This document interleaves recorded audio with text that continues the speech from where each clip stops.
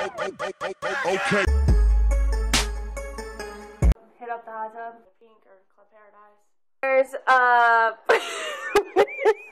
Go out and hang out with your friends. Play sports on the weekends. We go bowling on Thursday. Go to football practice.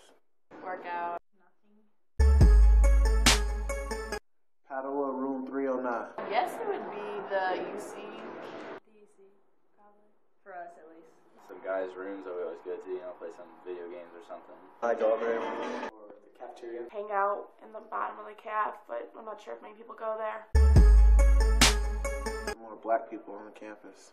I kind of like it the way it is. I'd make it bigger. A lot more people. Better food. Probably Nothing, it's great. We make some more activities for students to do um, throughout the week and on weekends and such. more stuff to do. Better dorms. Women's golf. Duh. You football. The freak. On the men's volleyball team. Baseball. women's soccer. Probably be basketball. Women's, soccer. soccer. What up? By women's soccer since I was on the team. Men's soccer. Men's volleyball, obviously. Eat. Sleep. To the HSC and play basketball with my best friends. Katie.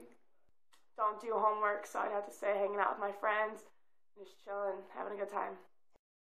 Work out. Hit up the hot tub. My favorite thing to do besides homework is probably just sit around and hang out with my friends.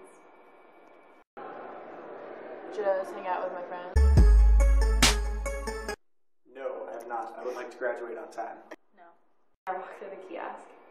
Uh, I did walk through it once. No.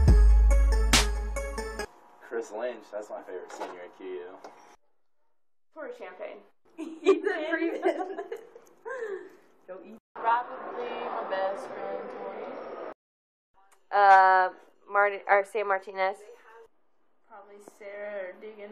Ethan Freeman. DJ Olympic. Dorisha. I'm not a senior. Yes, you are. to me, you are. Okay.